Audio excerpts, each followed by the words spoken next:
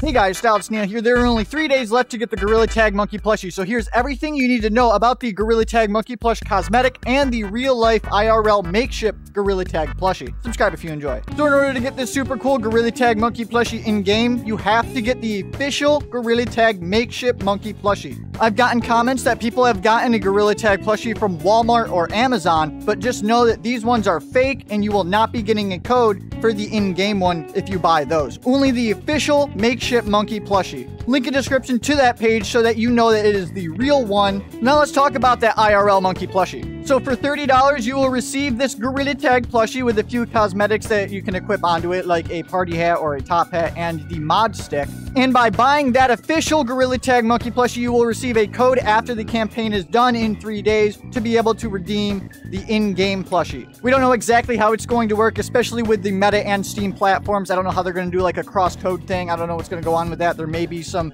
some different issues you have to deal with if you're on Steam. But this MakeShip Gorilla Tag plushie is the biggest MakeShip campaign ever. As of recording this video, over 34,000 monkey plushies have been bought. It'll take some time for that real one to get delivered, but you will get an email with a code for the in-game one before the real one should even be at your house. But that's everything that you need to know about the in-game Gorilla Tag Monkey plushie and the IRL MakeShip monkey plushie. Link in the description to buy the MakeShip one. Make sure you get the official one, the real one, if you want the in-game monkey plushie. Subscribe if you enjoyed.